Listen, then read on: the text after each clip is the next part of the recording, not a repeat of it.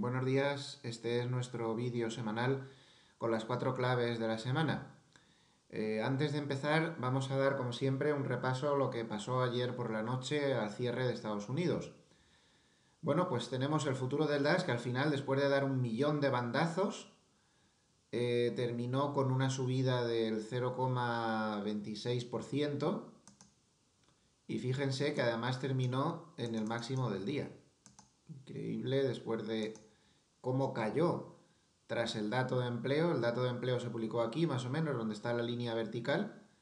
Tuvo un desplome brutal y al cierre pues estaba otra vez donde estaba antes del dato de empleo. Eh, mayor volatilidad es imposible.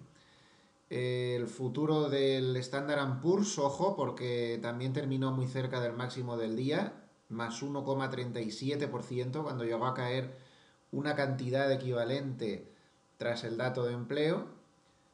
El boom subió 46 puntos. El futuro del IBEX que cerró a las 8, un poco antes que los demás, subía 1,25%, nada menos. El del mini Dow Jones sube 1,15% y el del Nasdaq 1,79%.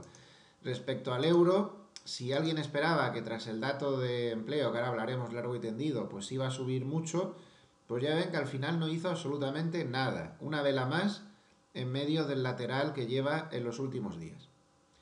Bueno, pues entramos en la primera clave, que es la que más tiempo me va a llevar. Las otras van a ser rápidas, esta necesita tiempo.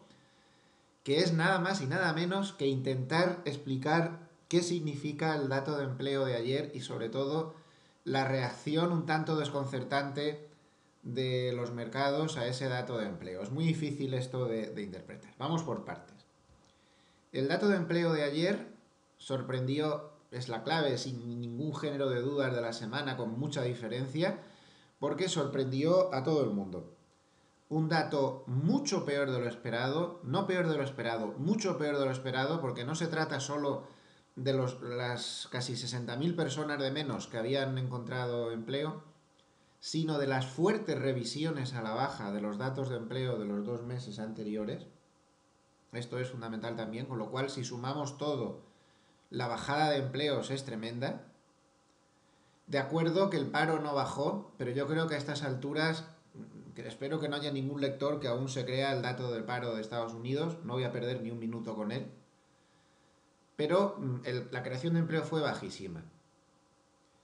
Consecuencia, imposible, absolutamente imposible que suban los tipos de interés este año. Con ese dato de empleo se le tirarían encima eh, montones de asociaciones, ciudadanos y posiblemente los partidos políticos como se le ocurra ahora subir tipos. No se puede subir tipos con unos datos macro que están saliendo bastante flojos excepto los de consumo quizá, y este dato de empleo. El mercado de futuros sobre fondos federales lo ha dejado muy claro y ya saben que este mercado las está acertando todas. Es el más fiable, es un mercado de manos fuertes donde ahí los particulares no distorsionan. El futuro sobre fondos federales de diciembre, antes del dato de empleo, descontaba unas posibilidades del 44% de subida de tipos de interés hasta diciembre, hasta la reunión de diciembre. Ahora ha bajado del 44% al 27%. Creo que con esto está dicho todo. El mercado descuenta que no va a haber subida de tipos de interés este año. Y viendo los futuros sobre fondos federales, ahora se descuenta que los tipos no subirían hasta como pronto hasta marzo. Esto es un gran cambio de perspectiva. Hay que recordar que más o menos a estas alturas, cuando estaba el Standard Poor's así de alto, se estaba descontando casi un noventa y tantos por ciento de posibilidades de que habría subida de tipos. Eh, quizá aquí no, pero por aquí, por estas fechas sí. Había casi un 90% de posibilidades de que subieran los tipos en diciembre. Ahora solo hay el 27%. Hay un cambio de perspectiva, pues muy importante. Eh, esto deja en muy mal lugar a Janet Yellen si Yellen ya estaba desconcertando al mercado, ahora lo desconcierta del todo porque es increíble que ella no tuviera ya una perspectiva o un anticipo de lo que podía salir en el dato de empleo. Y va y se le ocurre decir, pues pocas horas antes del dato de empleo, pocos días antes, que van a subir los tipos en diciembre. Y luego sale este dato de empleo que le desdice, bueno, en fin, es difícil de entender. Evidentemente, viendo este gráfico, si fuera tan fácil como algunos esperan, que el mercado fuera como una máquina automática, que si hay posibilidades de subidas de tipos baja y si hay posibilidades de, de bajadas de tipos sube, este gráfico no sería así, sería totalmente diferente. Aquí se habría desplomado porque aquí se estaba descontando una bajada de tipos tremenda y eh, aquí, más o menos, que fue cuando eh, Janet Yellen, en todo este tramo de aquí, cuando Janet Yellen, la primera vez, en los mil cambios que ha tenido, dijo que veía difícil que subieran los tipos, al final de la última reunión de la Reserva Federal, nos habríamos disparado al alza y lo que hicimos fue bajar. Luego, primera cosa que tenemos que tener en cuenta, en el mercado están influyendo muchas cosas más. Muchas cosas más. Porque ha habido hasta dos ocasiones en las cuales cuando Janet Yellen decía que no iban a subir tipos, bajábamos, y cuando dijo que sí se iban a subir tipos, entonces empezamos a subir.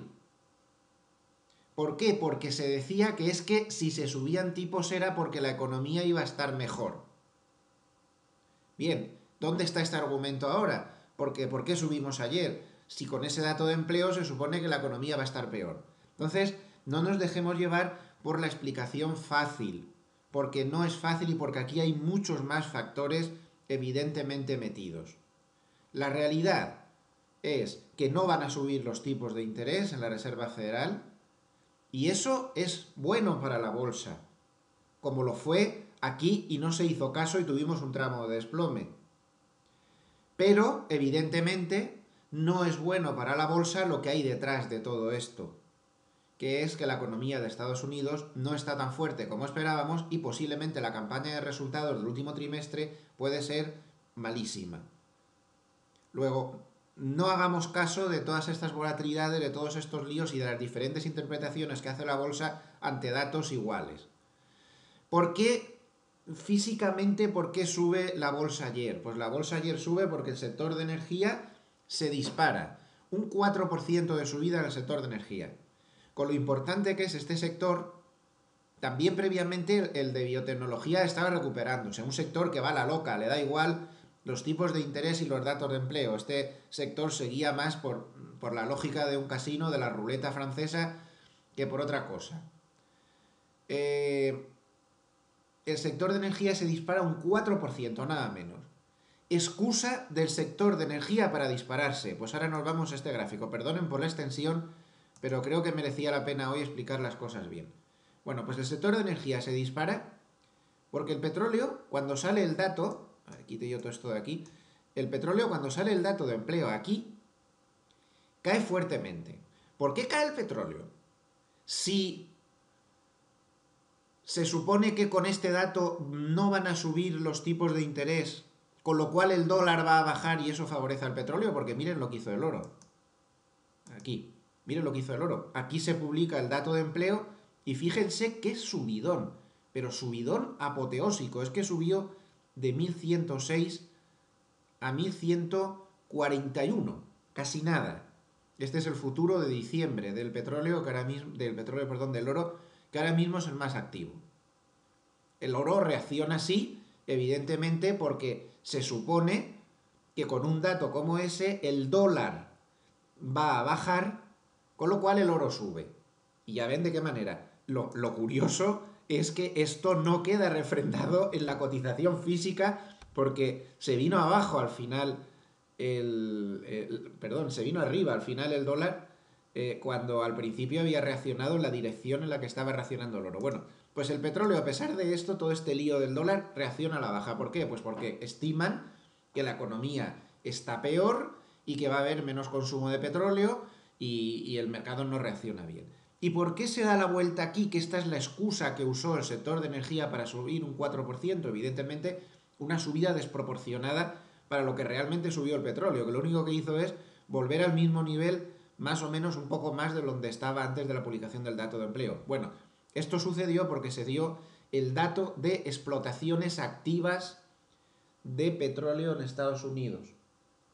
Y este dato mostró por quinta semana consecutiva una fuerte bajada de plataformas activas. En concreto bajaron 26 plataformas activas, como decía, cinco semanas a la baja y es la mayor caída desde abril.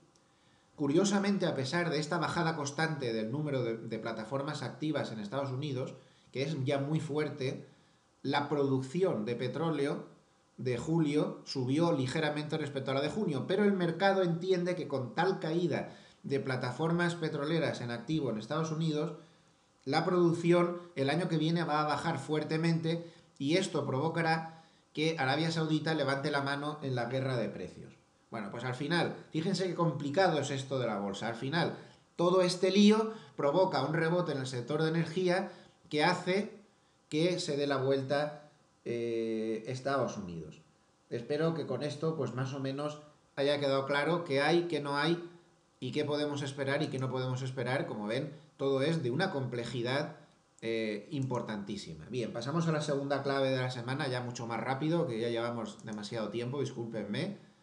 Queda muy claro en Europa dónde están los soportes y dónde está además el nivel a partir del cual podemos eh, tener esperanza. El soporte está aquí, a la altura de los mínimos del lunes negro.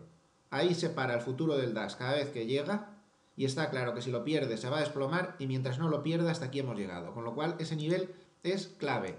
Y por arriba, miren qué directriz bajista más perfecta. Si esta directriz bajista se rompe al alza, podemos aspirar a un rebote en condiciones y un rebote serio. Cambios de tendencia, vamos a olvidarnos porque el gráfico es súper bajista y para que haya un cambio de tendencia aquí tienen que pasar muchas más cosas. Tercera clave de la semana, el IBEX. El IBEX quería llamar la atención sobre que lleva desde primeros de agosto por debajo del Kijun en su gráfico diario. Este, este, ya sabe todo el mundo por mis conferencias que a mí me encanta este, estos indicadores Ichimoku. Yo creo que en el IBEX el nivel que nos va a decir, ojo, que voy en serio en el rebote, va a ser cuando el IBEX consiga situarse por encima del Kijun. Mientras no lo haga, es imposible fiarse. Si se eh, sitúa por arriba podríamos aspirar a un rebote, evidentemente, si se sitúa por arriba y se vuelve a meter por debajo, sería un escape falso y peligrosísimo. Pero en el momento posiblemente que pase por arriba, podríamos tener alguna esperanza. De momento, la estructura sigue siendo claramente bajista y, sobre todo, lo que yo quería hablar del IBEX es el spread con el Eurostox. Había bastante interés por ver qué pasaba tras las elecciones catalanas, eh, ¿qué, reacción tenía el IBEX? Que se decía que había tenido un descuento de riesgo político. Y a ver si encuentro yo el día. Eh, el principio de la semana fue el día 20. aquí. 26, por más o menos como por aquí. Y bueno, pues no han pasado grandes cosas. Eh, la deuda sí ha estrechado un poco el diferencial con Italia y el IBEX, o sea, su relación con el Eurostox, como vemos, primero hubo una cierta recuperación y luego un cierto empeoramiento, pero todo muy poca cosa y no hay grandes cambios en, estas apreciaciones de sobre que el IBEX lo esté haciendo peor que los demás. Sí que hubo una muy mala racha aquí, pero ahora pues parece que estamos ahí en un periodo de cierta confusión. Y cuarta y última clave de la semana, yo diría que es el aspecto técnico del futuro del Mini, que es muy importante también situar aquí donde están eh, las resistencias y los soportes, porque toda la semana hemos estado jugando con eso. Eh, tiene un soporte muy claro entre los mínimos del lunes negro y eh, el nivel de 1850. Ahora se ha metido en un lateral y por encima de 1950 tiene algunas esperanzas de recuperación, pero para un cambio de tendencia aún habría que esperar mucho. Ojo al estocástico que sale desde sobreventa, cuidado ahí, sale desde sobreventa y empieza a dar señal de posible rebote. Nada más, gracias y buen fin de semana.